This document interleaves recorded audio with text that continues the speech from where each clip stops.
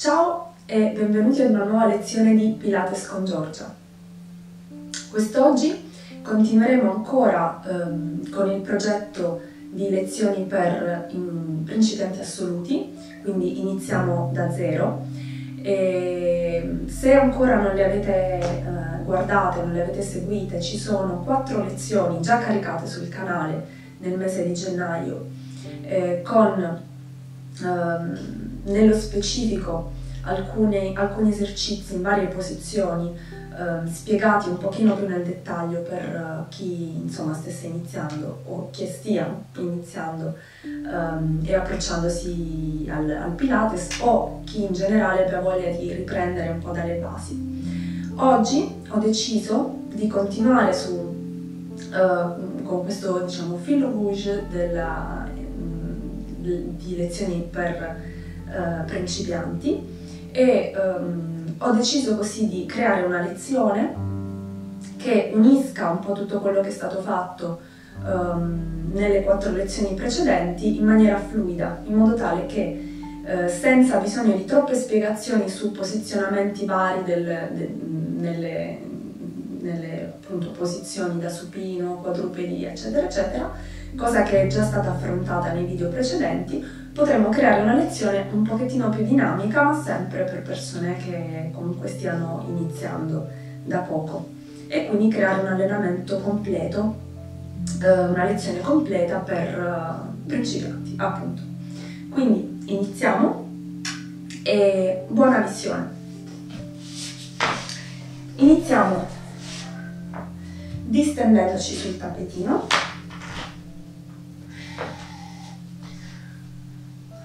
Troviamo una posizione comoda, i piedi poggiati sul tappetino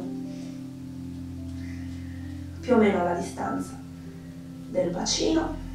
E ci prendiamo qualche istante solo per sentire com'è questa posizione di appoggio, quindi come siamo distesi sul tappetino, quali sono i punti di appoggio che oggi riusciamo a percepire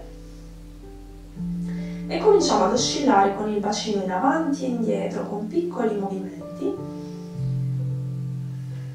sentendo come cambia l'appoggio nella zona lombare, nei piedi. Sentiamo come i piedi possono aiutare questo movimento e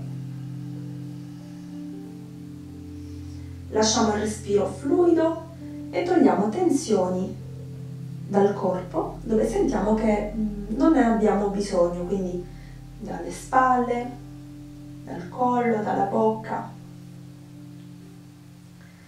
Poi la prossima volta che avremo la zona lombare completamente appoggiata, continuiamo nel movimento premendo i piedi sul tappetino e cominciando a staccare una vertebra alla volta, la colonna, dal pavimento. Ci fermiamo quando sentiamo che è sufficiente per noi e continuiamo a srotolare. Poi di nuovo inarchiamo la schiena e ancora una volta. I piedi aiutano il movimento di retroversione del bacino e poi la salita del bacino, una vertebra dopo l'altra. E ritorniamo giù. Questo movimento serve per dare un pochettino di mobilità inizialmente alle vertebre ancora una volta, il più fluidamente possibile, appoggiando una vertebra dopo l'altra con dolcezza, senza forzature. E l'ultimo. Sull'ultimo rimaniamo su e proviamo a sollevare le braccia. Portiamo le braccia indietro e ritorniamo su, mantenendo sempre il bacino lì dov'è. E ancora su e sali e indietro le braccia. L'ultimo. Ritorna su e adesso un fianco sale, l'altro si rilassa verso il pavimento. E poi di nuovo un fianco sale e l'altro si rilassa. Alternato, un lato e poi l'altro. Come faccio?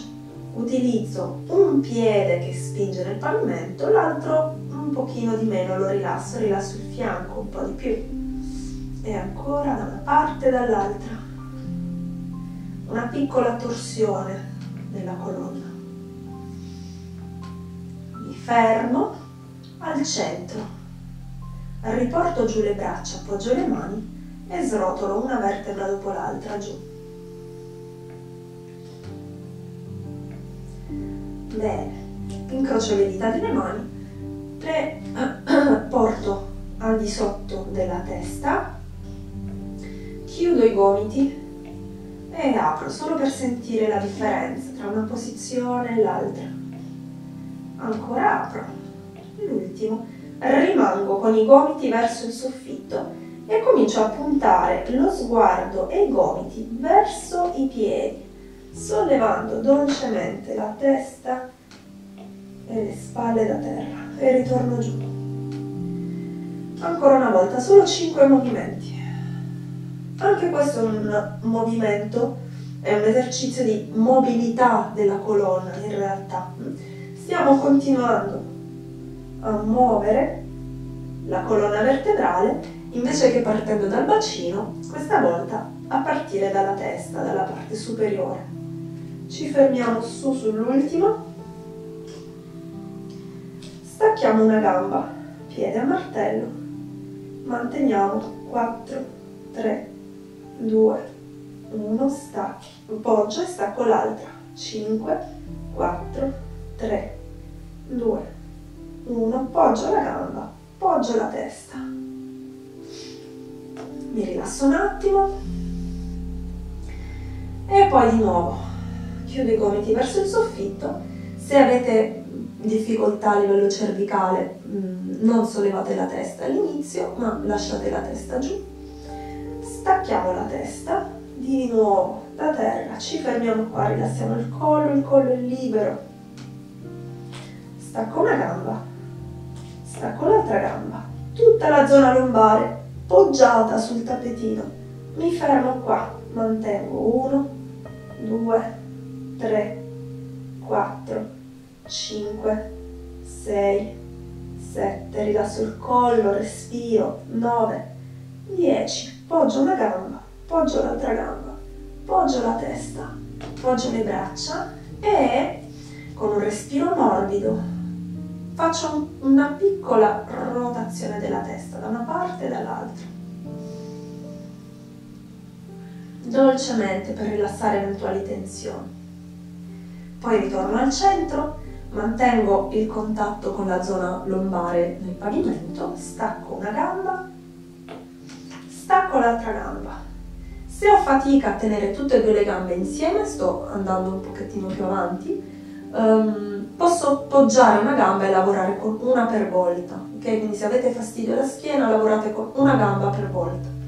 Qui facciamo una gamba rimane ferma, l'altra tocca col tallone il pavimento per 4 ancora. E 3 e 2 e ultimo. Qui notate come possa per esempio aiutarvi la respirazione. Quindi provate adesso che andremo sull'altra gamba a espirare quando la gamba si avvicina verso il pavimento. Quindi inspiro espiro e prendo l'aria e ritorno. Mi aiuta ad attivare l'addome. Che intendo per attivare l'addome? Sento che è necessario che qualcosa accada perché la gamba possa muoversi senza che il bacino basculi, ok? Voglio mantenere la zona lombare tutta appoggiata adesso alterniamo. Una gamba 10 e 9 e 8 la respirazione vi aiuta ma non è l'unico modo. Io posso continuare a respirare e comunque tenere un pochettino il bacino stabile l'addome attivo. Vi aiuta all'inizio a sentire meglio però poi sganciatevi dalla correlazione con la respirazione. Gli ultimi due. L'ultimo poggio una gamba, poggio l'altra gamba, mi rilasso. E ancora una volta, retroversione del bacino, salgo, in ponte, mi fermo qua, rilasso le spalle, rilasso la testa, molleggio col bacino, uno, due, il movimento parte dai glutei, dai piedi radicati nel pavimento, non dalla zona lombare, ok? Ancora, 4, 3, 2, rilasso il collo, guardo verso il soffitto, mi fermo su e sposto il bacino leggermente a destra e sinistra, traslandolo, quindi rimane lì senza ruotare, si sposta solo da una parte all'altra, come non so se avete mai visto, sicuramente sì, la macchina da scrivere che ha un, diciamo, un cilindro che si muove da destra a sinistra, ecco esattamente quello.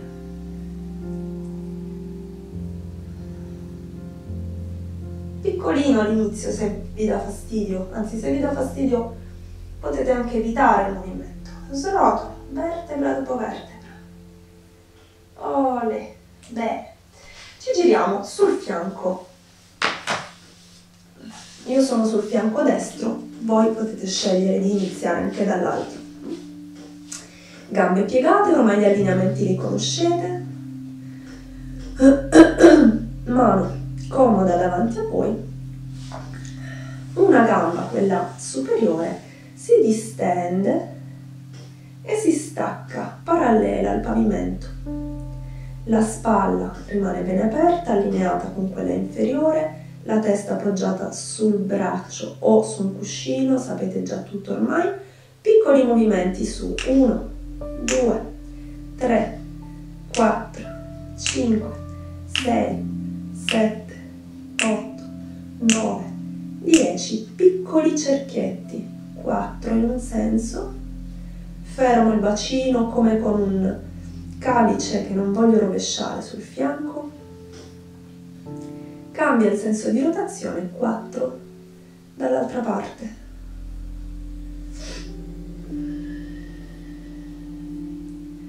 Ok, mi fermo qua. Piccola rotazione della gamba sul suo asse, punto le dita verso il soffitto e ritorno in avanti. Poi verso il soffitto e ritorno in avanti. Il movimento parte dall'anca quindi la coscia si muove, il ginocchio anche lui si orienta leggermente verso il soffitto. L'ultima volta. E ritorno giù. Fletto entrambe le ginocchia. E adesso sono pronta per venire su nella posizione di quadrupedia. Bene, mani sotto le spalle, ginocchia sotto il bacino, sposto il peso leggermente in avanti e indietro. Per sentire com'è il peso. E poi disegno un piccolo cerchietto. Da una parte e dall'altra. Quando mi sento stabile trovo il centro, distendo la gamba sinistra indietro, ancora toccando il pavimento distendo il braccio destro in avanti, ancora toccando il pavimento. E poi torno. E ancora. Cambio diagonale, torno. Insieme, braccio e gamba sfiorano il pavimento. Ancora. Quattro. Torno. Tre. Torno. Due. Torno. L'ultimo torno da qui, piccola, piccola mobilità della colonna in questa posizione, retroversione del bacino, sguardo verso l'ombelico, una curva lunghissima C, poi ritorno, passo nella posizione neutra, guardo in avanti, la coda guarda verso l'alto, il petto guarda in avanti. E ancora guardo verso la pancia, curva C, inspiro, posso anche puntare i piedi per guardare in avanti, lasciare che la schiena si inarchi, addome rilassato completamente, qui, l'ultima volta, E vado. Bene. Ok, mi riposo un attimo, mi allungo nella posizione del fanciullo, poggio la testa, poggio i gomiti.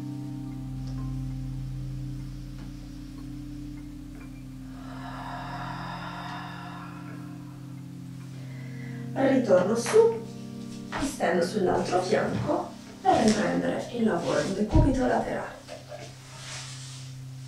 Gambe piegate, allineamento del corpo, conoscete già, distendo la gamba che ho su superiore, la stacco dal pavimento parallela al, mm, al suolo appunto e molleggio 1, 2, 3, 4, 5, 6, 7, 8, 9, 10, sempre calice in equilibrio sul fianco destro, in questo caso vado con i cerchietti 4, 3, 2, 1, cambia il senso di rotazione, 4, 3, 2, 1 e ancora da qui mantengo la gamba sullo stesso allineamento, solo sul suo asse c'è una piccola rotazione. Verso il soffitto e ritorno, quindi rotazione esterna e ritorno, esterna e ritorno. Poggio la gamba e fletto, mi rilasso un attimo. E sono pronta a questo punto a girarmi pancia in giù. Poggio le mani, anzi, poggio le mani prima una sull'altra, la fronte in appoggio sulle mani, la testa, il collo rilassati. Comincio a sentire l'allineamento del bacino e quindi provo a sentire in diverse posizioni com'è il bacino, piccola retroversione e poi rilasso. Poi sento che il bacino è ben aderente a terra mentre fletto la gamba destra e continuando a tenere il fianco destro appoggiato completamente stacco poco poco il ginocchio da terra. E vado 4 e 3 quando scendo rilasso completamente. 2 il tutto senza creare fastidio alla zona lombare assolutamente perché il bacino è appoggiato il gluteo sta lavorando è implicato nel movimento. La coscia, il retro della coscia sicuramente. Cambio, fletto il sinistro e vado, 4 e giù, e 3 e giù, e 2, giù, l'ultimo, giù, distendo e adesso porto le mani ai lati del corpo in una posizione in cui sento che sono comode per la spinta, dove sento che ho forza nelle braccia anche se non userò questa forza per il momento, ma sento che ho questa possibilità. E da qui seguo con lo sguardo una pallina che rotola davanti a me. Ok, e ritorno. E di nuovo. Seguo una pallina che rotola davanti a me.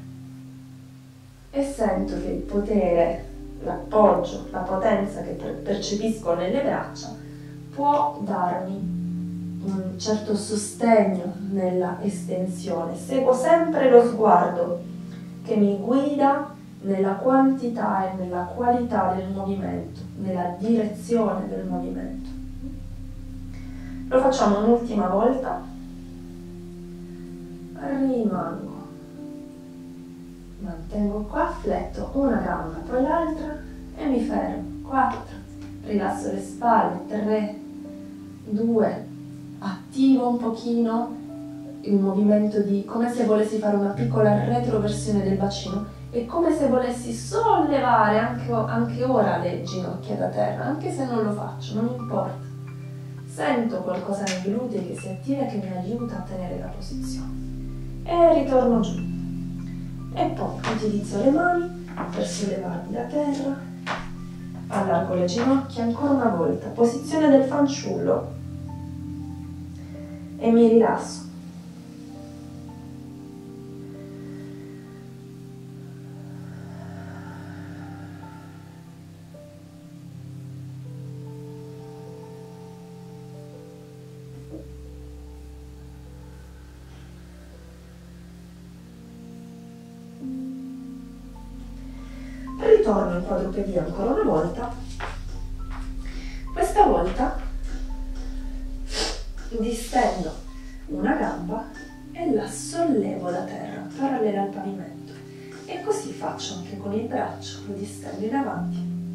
Mantengo 4, mantengo 3, mantengo 2, 1 e giù. E ancora 4, 3, 2, 1 e giù. Mi raccomando, quando distendo la gamba indietro, non è qui il movimento, non è la schiena in questo momento che mi fa portare sulla gamba.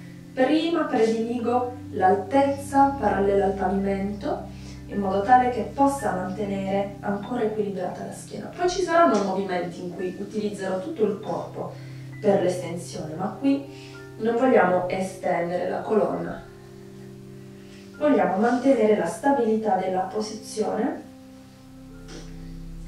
e gestire la quantità, imparare a gestire la quantità di movimento che ci consenta di mantenere stabile la colonna. Ok, bene. Adesso, da questa posizione, punto i piedi. Mi allontano leggermente in avanti con le mani, lo ricorderete sicuramente. Ora immaginate che il vostro coccige sia la punta di una piramide o di un triangolo che state costruendo con il vostro corpo. Le mani sono un altro di questi vertici, i piedi il terzo vertice del triangolo. E quindi da qui stacchiamo le ginocchia da terra dirigendo il coccige verso l'alto e allineando la testa e il busto con le braccia in modo tale da formare appunto questo triangolo all'inizio con le gambe piegate e poi quando ve la sentite con le gambe anche distese. Posso flettere leggermente mantenendo sempre il coccige in su, distendo di nuovo e ancora, fletto e distendo, rilasso la testa completamente, uso le mani che spingono il bacino in su e indietro. Ancora. Sento come questa posizione mi aiuta ad allungare, eh, allungare tutta la parte posteriore del corpo. E giù.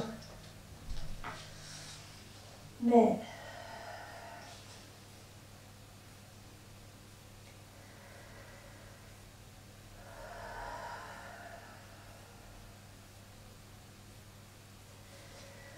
ritorno su,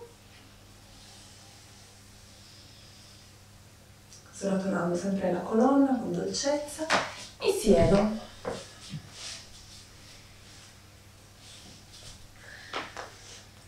Bene.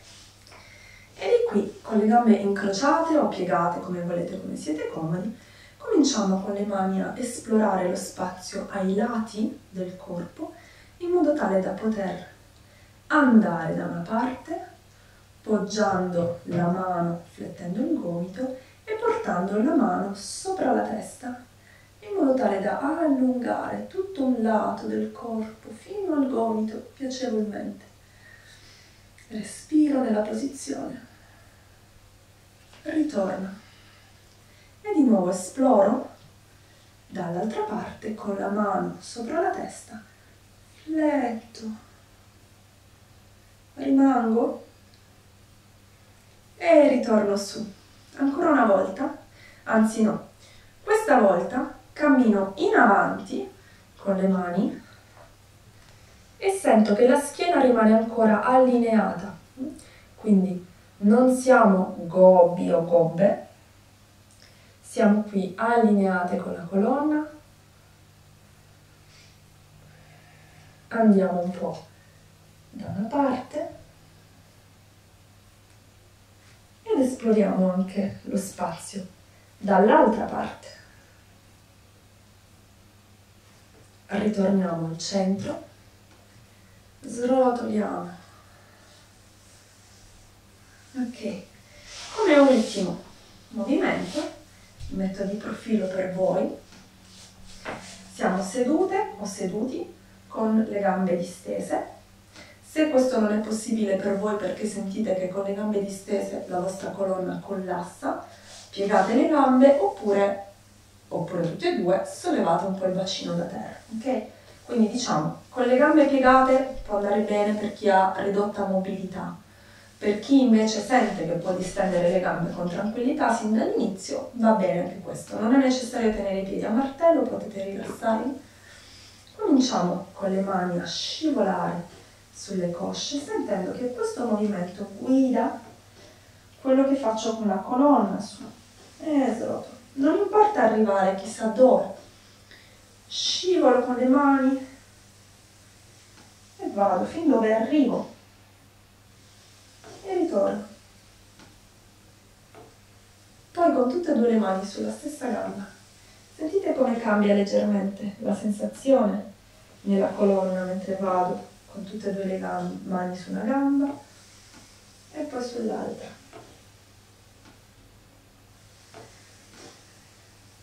Ok, per ultimo, un ultimo esercizio, movimento, di apertura. Poggio le mani dietro di me, questo per chi ha fastidio alle spalle non lo consiglio. Apro leggermente il petto, guardando il soffitto e ritorno e poi di nuovo. Come se mi stiracchiassi e ritorno. E ancora uno.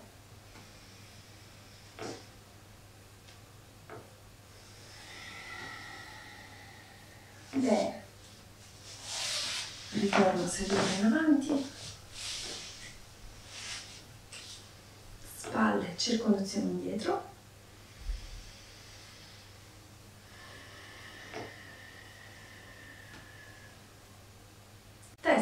ruoto da una parte e dall'altra,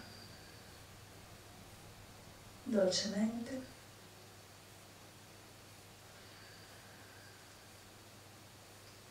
Ritorno. Ruoto i polsi da un lato e dall'altro, incrociando le mani, le dita delle mani. Ok, porto su le braccia e giù. Ancora.